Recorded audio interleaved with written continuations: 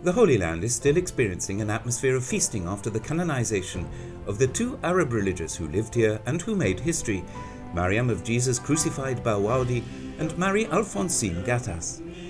Following the canonization by Pope Francis, which took place last May in Rome, local Christians have taken part in numerous celebrations.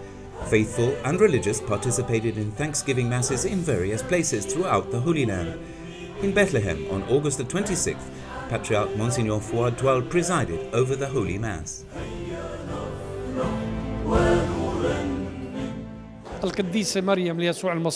St. Mariam of Jesus Crucified was known for her silent prayer of contemplation and worship, while St. Mary Alphonsine stood out for her practical life. And we need both the contemplative and the practical life. At the Carmelite convent of Bethlehem, the prayer of the religious was combined with the desire to take some steps toward sainthood.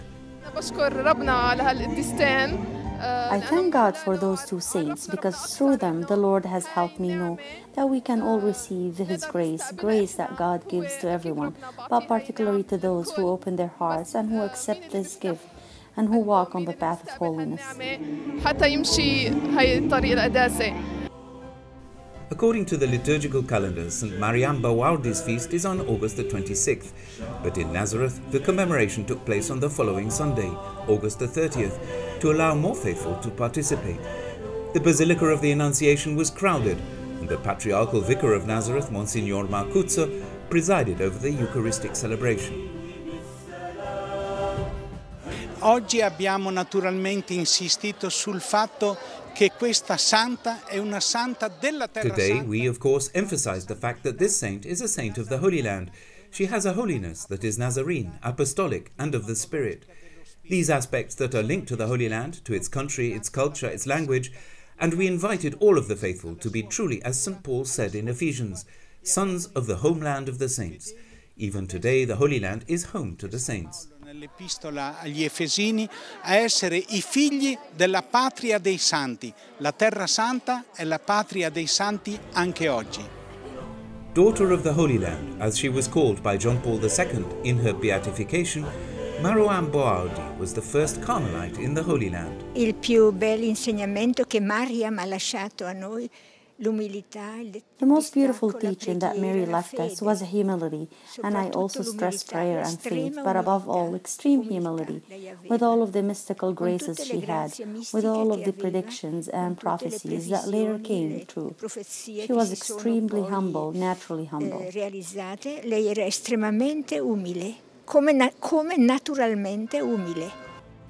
Marie Alphonsine was also marked by strong religious mystical experiences. Born in Jerusalem, she founded the Congregation of the Sisters of the Rosary, the first and only congregation of Arab origin in the Holy Land. The fact that the founder of the congregation is a saint is even more of a daily motivation for all of the members of the congregation. The lives of these two sisters was a witness and continues to be an example that witnesses to Christians in this place.